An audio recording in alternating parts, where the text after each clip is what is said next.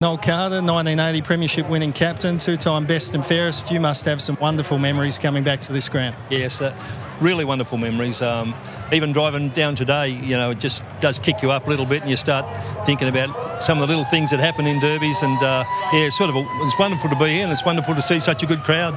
We've got some wonderful vision of you here kicking a, a famous a point after the siren, 1983 in the Derby. Can you talk me through it?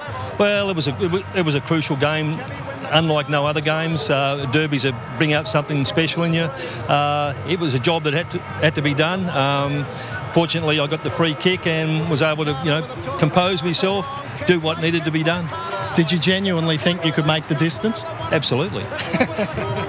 and some of the guys you played alongside here with some really talented footballers. Oh well, they'd, probably make a state team all on their own. Um, I don't need to name them. They've all they've all had plenty of accolades.